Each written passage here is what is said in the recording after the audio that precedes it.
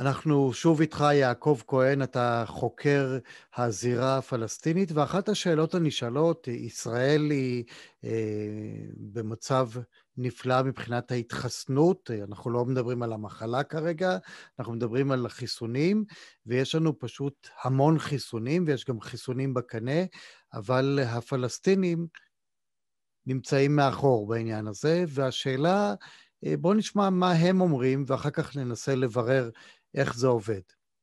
אוקיי, okay, אז יש הבדל בין הגדה המערבית לעזה מבחינת התחלואה. בגדה המערבית יש בסביבות אה, אלף חולים אה, ביום, לעומת זה בעזה אה, בסביבות 80 חולים ביום, ולכן גם הטיפול הוא בהתאם. בימים האחרונים אנחנו רואים שבעזה יש הקלות, הם פשוט ביטלו את הסגרים והסירו את העוצר ופתחו אולמות שמחות ומועדונים, חדרי כושר, זאת אומרת, הם יפתחו ביום ראשון. אה, זה סימן ש... של ירידה בתחלואה, וככה הם מתמודדים. לעומת זה, בגדה המערבית החליטו על הגבלות. אה, בגלל העלייה בתחלואה, יותר סגרים, יש עוד סגר לילי מ-6 בערב עד הבוקר, וכן בשישי ושבת. החליטו גם כן לאסור מעבר אה, ממחוז למחוז בתוך הגדה, אה, לאסור כניסת ערביי ישראל לשטחים אה, ולאסור יציאת פועלים לישראל. חוץ מזה יש צמצום של, צמצום עבודה בכל המגזרים כמעט, וכמובן שאין אירועי שמחות וסוכות אבלים וכולי. אז זה המצב מבחינת התחלואה. עכשיו, איך מתמודדים? החיסונים, אה, אה, בסך הכל הם קיבלו אלפיים חיסונים, הרשות הפלסטינית קיבלה אלפיים חיסונים מישראל, אה, תוצרת מודרנה, מתוך חמשת אלפים שישראל הבטיח, אה, הבטיחה להעביר להם. אה, השבוע אה, הועברו גם אלפיים חיסונים אה, של ספוטניק מהרשות הפלסטינית לרצועה. אה, בהתחלה אה, היה ניסיון להעביר את החיסונים, וישראל עדיין לא אישרה להם להעביר, והיו uh, תגובות uh, מחאה ברשות הפלסטינית, uh, בייחוד בעזה, ולכן uh, בהמשך השבוע הוחלט uh, בישראל להעביר את האלפיים חיסונים, ואכן הם הועברו. Uh, זה בינתיים מה שיש להם. מלבד זה, ארגון הבריאות העולמי הבטיח לספק לפלסטינים חיסונים שיספיקו ל-20% מהאוכלוסייה. אה, מלבד זה, הרשות הפלסטינית אה, חתמה על הסכם עם אסטרה זניקה אה, להעביר שני מיליון חיסונים, כאשר 400 אלף מתוכם יועברו בחודשים מרץ עד יוני. היום ראיתי גם ידיעה שדחלן נכנס לנושא והבטיח להעביר 20 אלף חיסונים שהאמירויות אה, יממנו, זה כאחת מהדרכים שלו להתמודד בבחירות הפלסטיניות. זאת הייתה הזדמנות... אה, זה לגבי החיסונים. זאת הייתה הזדמנות גם בשבילנו להראות, הנה, אתה יודע, בפעם שעברה דיברנו על אה, איך אה, חוזרים לדיאלוג, וכמו שאמרנו, צריך לבוא עם ידיים נקיות גם מהצד שלהם, גם מהצד שלנו. הייתה לנו פה הזדמנות, או יש לנו הזדמנות פה, לגלות נדיבות. תשמע, זה, זה חיי אדם. נכון מאוד, זה קודם כל האינטרס שלנו, זה קודם כל ל... אה, שהשכנים שלנו יהיו מחוסנים, ואז הסיכוי שפה אה, ידבקו אנשים אה, יפחת. מלבד זה, העניין הזה הומניטרי, ואני חושב שבעניינים הומניטריים לא כדאי לנו לשחק בעניינים של לחץ, להפעיל לחצים כדי להביא גופות ולהביא נעדרים. את זה צריך לעשות בדרכים אחרות ולא בדרכים של פגיעה בתרופות וחיסונים אה, וכולו, שזה דבר אה, מובן מאליו שאנחנו חייבים אה, לסייע לפלסטינים. אבל זה לא קורה, ויש איזה דיאלוג בעניין הזה? זאת אומרת, הפלסטינים פונים, אני מתאר לעצמי שיש איזה ערוץ של פניות, בואו תצילו אותנו, כי זה דבר שיכול לפגוע קשה מאוד בוא נאמר, גם מוסרית, זו פגיעה מוסרית שישראל בעצם שולטת בשטח. נכון שיש הסכמים, אבל בעצם אנחנו שולטים בשטח, הם לא עצמאיים, ויש לנו אחריות כלפיהם. נכון מאוד, הם אומרים שאנחנו, כל עוד אנחנו אה, נחשבים ככיבוש, אנחנו חייבים לדאוג להם בנושא הבריאותי. ואני חושב שנכון עשתה ממשלת ישראל, שהחליטה בסופו של דבר כן להעביר את ה... לאשר את העברת אלפיים החיסונים האלה של ספוטניק, והם הועברו לעזה אתמול, וזה צעד נבון, ואני מקווה שאנחנו נמשיך בזה, ונמשיך להעביר לפלסטינים עוד חיסונים, כי זה גם אינטרס שלנו. אתה יודע, בישראל אה, יושבים ומתחננים לאנשים והרבה פעמים זורקים מנות. אפשר היה לפתור פה את הבעיות עם הרבה שכל, להפעיל שכל ישר, שזה לא מבין לי, לא מובן לי איך יכול להיות שאצלנו זורקים מנות כי לא הגיעו אנשים להתחסן, אה, ובצד השני אנשים מתים לחיסונים ולא מעבירים להם. אז, אה, ויש לנו עוד את ההסכם עם מודרנה, זאת אומרת שיש חיסונים, לא חסרים חיסונים לישראל. נכון מאוד, זו אחת, הייתה אחת הטענות שלהם, שהנה ישראל מוכנה להשמיד תרופות ולאסור אה, את העברת החיסונים אה, לעזה, וטוב שאכן שעשינו את זה, שכן אה, שינינו את דעתנו בסופו של דבר. הם מנהלים מגעים, ומוטב שגם ישראל, כמו שאומרים, תצא קצת מהקופסה, ולהבין שזה מצב קשה ושיש לנו אחריות אה, על אלה בעזה ועל אלה ביהודה ושומרון, וגם אם אתה תגדיר אותם עד מחר כאויבים, אה, אלה האנשים שאיתם תצטרך לעשות בסופו של דבר שלום. ויש לנו גם אחריות הומניטרית. בוא נגיד שזה כאילו מישהו שנמצא בכלא שלך, אבל אה, אתה צריך לטפל גם באסירים. נכון, נכון. אני חושב שזה צריך להיות מובן מאליו שאנחנו צריכים אה, להעביר את החיסונים גם לאסירים וגם אה, לרשות הפלסטינית, כמה שככל שאנחנו יכולים, ובמקום אה, להשמיד את התרופות שעוד מעט יפוג תוקפן, להעביר אותם שמישהו ייהנה מהם. כן, מה עוד שיש לנו גם עוד המון חיסונים בדרך שעוד אפילו לא התחלנו להשתמש בהם, ואני מקווה שהדברים האלה יעברו, ו, ואם אנחנו מדברים באמת על איך מייצרים דיאלוג, גם הם לפני בחירות, גם אנחנו לפני בחירות, יש לנו הזדמנות פה קצת לשנות את, ה, את הדיסקט בשני הכיוונים. נכון, זה גם הזדמנות שלנו לשמוט את הטענה שלהם שאנחנו בעצם רוצים ששם התחלואה תתגבר והמגפה תתגבר, וזה אחת הדרכים שלנו להחליש אותם אה, במאבק, וצריך אה, לעשות את זה מהר כדי שלא לתת להם את ההזדמנות הזו אה, להסית נגדנו בתיאוריות של הקונספירציה.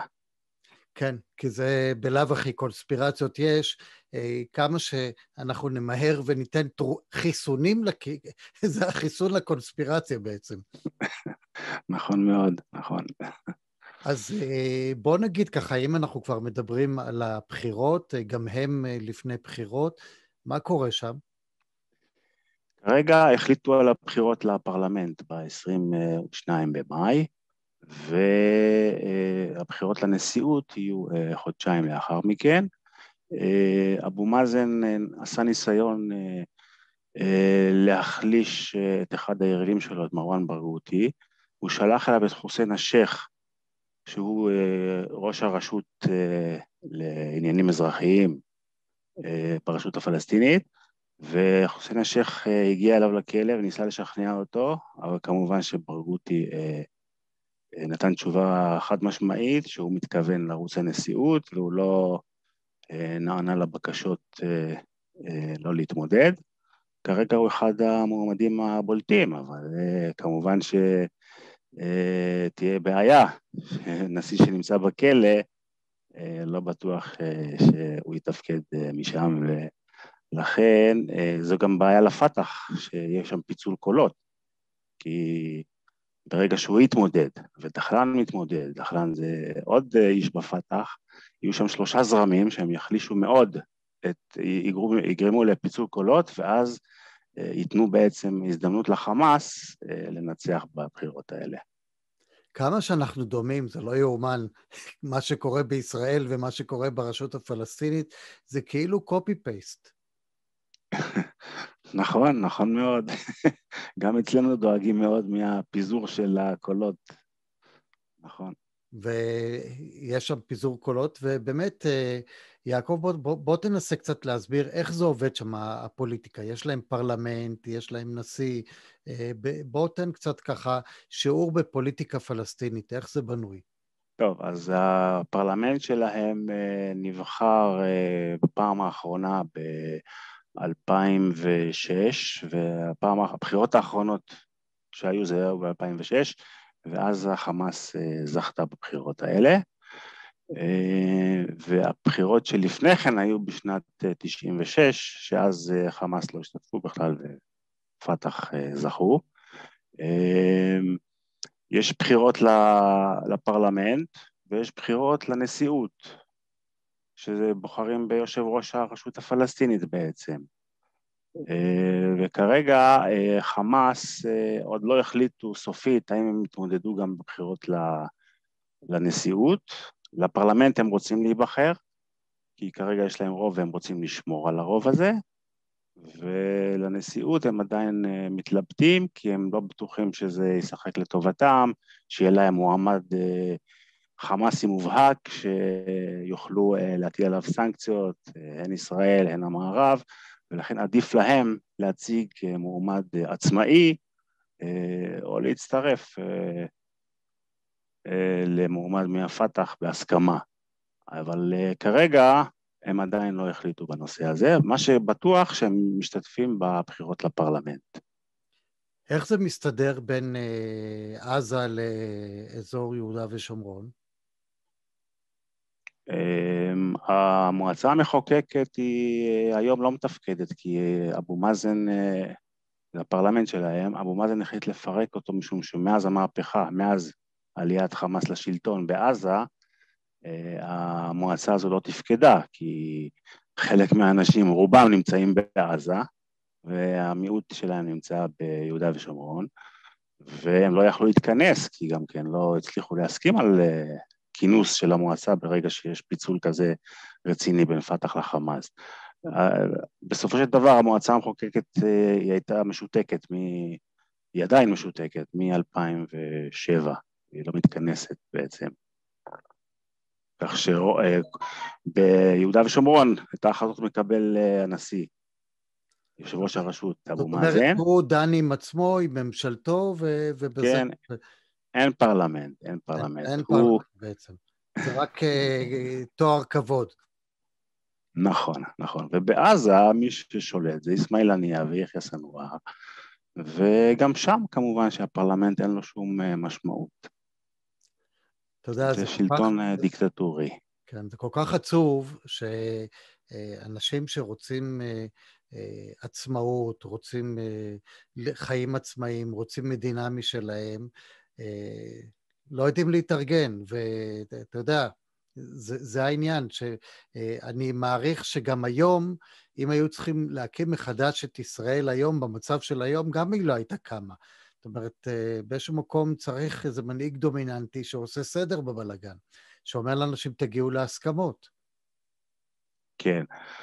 מה שכן, הפלסטינים עכשיו הגיעו להסכמה לעשות בחירות, אבל אה, לגבי העניינים המהותיים, הם לא הגיעו להסכמות, הפת"ח והחמאס נפגשו בקהיר לפני כמה ימים, ובעצם את כל הדברים המהותיים הם דחו לאחר הבחירות. זאת אומרת, הם מחליטים, קודם כל נעשה בחירות, ואחר כך נחליט איך אנחנו אה, מסתדרים עם דברים אה, אחרים, מה הסוג של, ה, של השלטון שאנחנו רוצים, ו...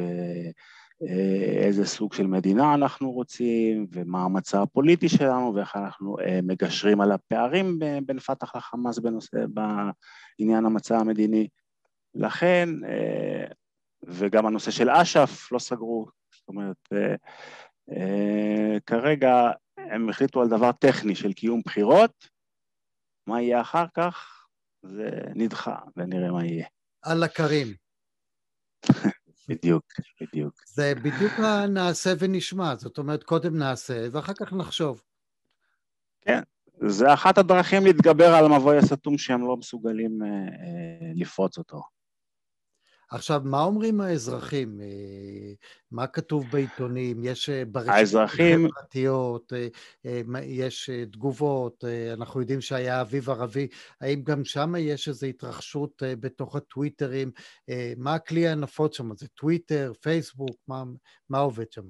טיק טוק. כרגע זה די שקט מבחינה זו, אין, אין מחאות נגד השלטון, אנשים עסוקים היום בקורונה ובחיי השגרה והיומיום, אבל מעניין לציין, למרות חוסר האמון והסקפטיות של הרחוב הפלסטיני בנושא הבחירות, ש-93 אחוזים נרשמו בפנקס הבוחרים. זאת אומרת, יש פה איזושהי מודעות לנושא האזרחי של להשתתף בבחירות.